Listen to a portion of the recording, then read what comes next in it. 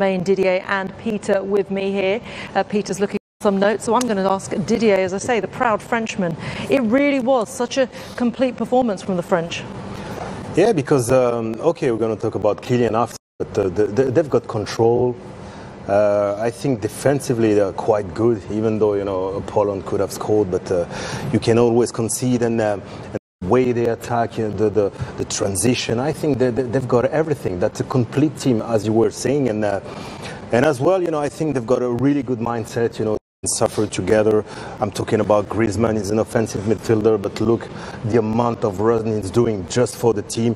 Giroud as well. That's why I was talking about those souls. You know, it's a mix of experience, of, uh, of young as well. Don't forget, we had the, one of the youngest team in 2018, and we still have the, uh, a lot of youngsters, even though USA and uh, I think Ghana was the youngest, but uh, yeah, it's incredible, and and they make us really proud because I will repeat, to you know, we have so many players out, you know, and and and half of the. Team, I forget even Nkunku, who was the best player in yeah, Germany last year, course, yeah. is the best goal scorer in Germany this year. So it's uh, it's uh, as a French, you're really proud to see that team but you can have talent, but it's always a balance between talent and organization, talent and, and mindset and camaraderie. So uh, a great uh, credit to as well, mm. because over the last uh, uh, uh, maybe five tournaments, uh, we had some problem of behaviors. He's laughing. Five tournaments.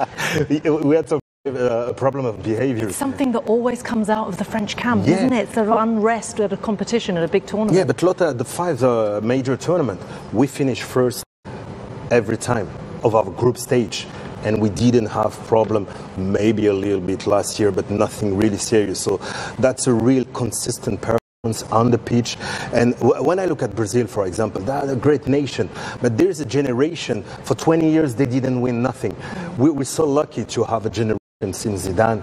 We, have been in the final even in 2006. We, we won it in 2018. So we're so proud of our boys. You, you, you can't imagine, you know, the last 20 years been absolutely incredible. And we don't know what will happen in this one, yeah? It's kind of a little bit of building, isn't it? I mean, we look at USA last night. It is that, isn't it? When you get that young generation who all grow together and build together. And I'm not saying that the USA can achieve those heights. There's still plenty to do, but you see the, the, the fruits of that labour of getting that range of talent, to be blessed with the talent in the first place, and then for it all to come together.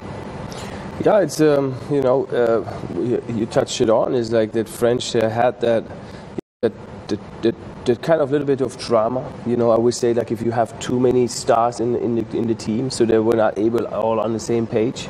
But I think now see it. Everybody's like putting himself a step behind in the in, in the country's the number one. You know, and we, we, we touched on with with Griezmann.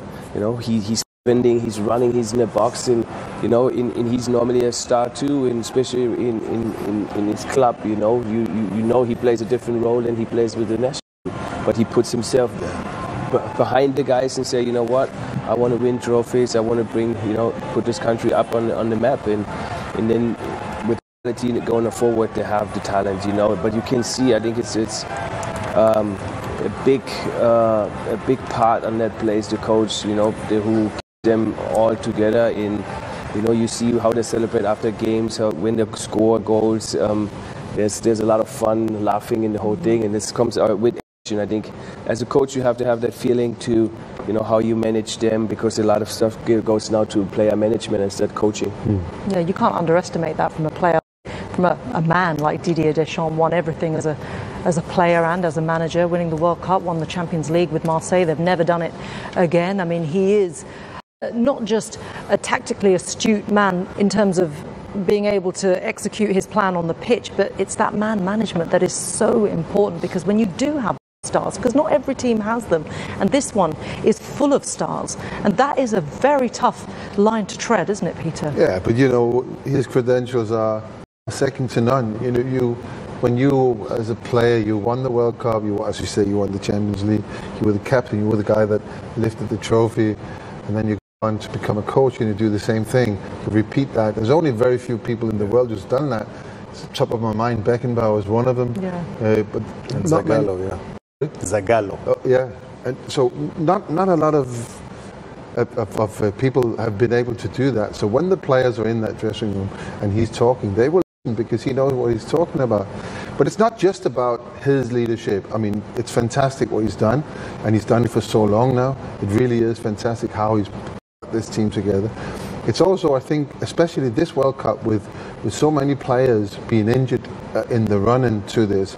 No Pogba, no Kante, for instance. That we knew for a long time. Then the Benzema, uh, then Kimpembe. You know, Yeah. this this is proof of what they do from from the beginning of, of a, a player's career, not career, but when the kid starts to play football and how they bring them through uh, the academy and, Yeah. and eventually they that they can produce this group of player of players of this quality. I know they lost. We saw nine changes in the Tunisia game.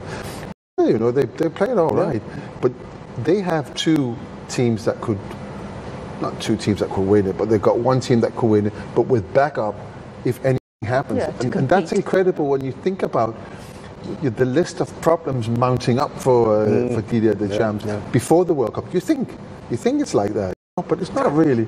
you know, and he's a cool character. He takes it in his stride, and and and, and another thing I wanted to say, which it, I won't say he reminds me of Alex Ferguson at all, because they're different personalities.